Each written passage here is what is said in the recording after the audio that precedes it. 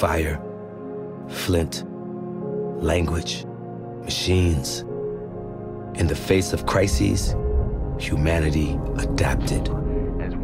We became warriors, explorers, builders, dreamers flying forward. In control of a changing world. And there are no signs. 45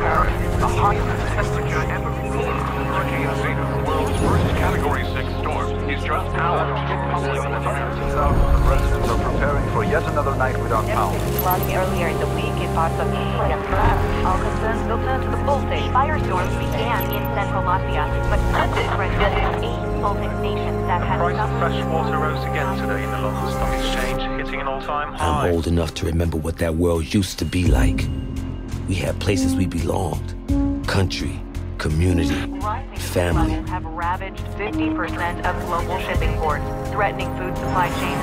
The population continues to riot in the streets. Militaries to fortify their borders using At what point does a country stop being a country? One failed state became a dozen, and now there's millions of refugees headed every direction, except home. 1.2 billion people have been displaced by this shocking chain reaction. We call ourselves No-Pats, the non-patriated, stateless warriors fighting for our survival. The world's itself choosing sides between Russia and the United States Caught between the last two superpowers as they circle each other, fighting for resources, threatening to draw us into a new kind of war.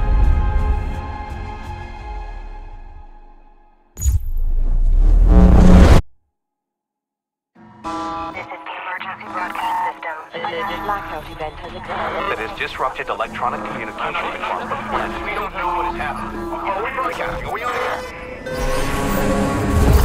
Blackout communications and navigation systems, leading to massive disruption. Cause is unknown. Russia and the United States have been pointing fingers, escalating tensions between the nations fever pitch. The war between the superpowers is imminent.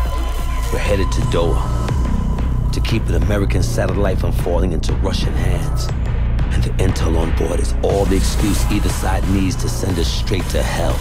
But we faced crises before. The No-Pats were born out of it. We are the warriors. We are the adaptation. And this fight is ours.